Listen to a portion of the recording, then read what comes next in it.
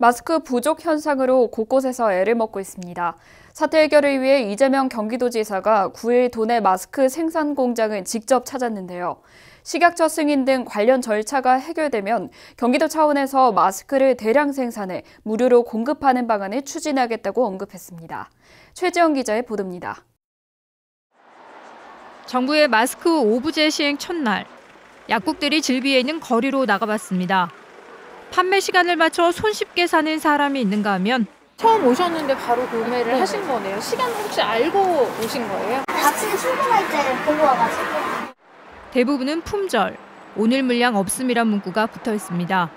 또 하루 종일 아니 아직도 팔이 없다고 다 저렇게 일사 가득 써붙여도 계속 누르면 인적이 드문 시골 약국도 가봤는데 역시 판매가 시작된 지 얼마 안 돼 다 팔린 상태라 오후에 온 시민들은 발걸음을 돌려야 했습니다. 마스크 공급 물량을 늘리는 묘안을 찾기 위해 이재명 경기도지사가 직접 마스크 공장을 찾아갔습니다. 생산 확대를 위한 방안에 대해 의견을 나눴습니다.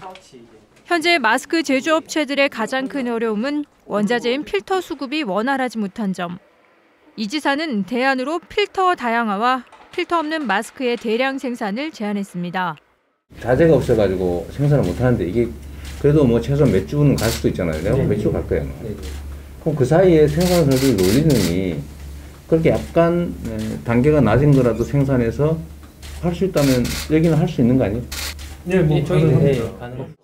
그러면서 식약처 승인 등 관련 절차가 해결되면 경기도가 대량 구매에 무료 공급하는 방안을 추진하겠다는 구상도 꺼냈습니다. 우리 도 차원에서 그냥 웬만하면 대대적으로 생산해서 써- 그냥 무- 무료 공급하지 뭐.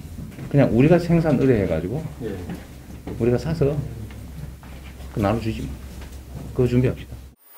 마스크 생산 확대에 필요한 공장 증설을 위한 규제 합리화나 경기도 이음 일자리를 통한 인력 수급 대책 등 다른 지원도 약속했습니다. 이는 마스크 생산 확대에 필요하면 경기도가 재정과 규제 완화, 행정력 등 가용한 정책 수단을 총동원하겠다는 뜻입니다.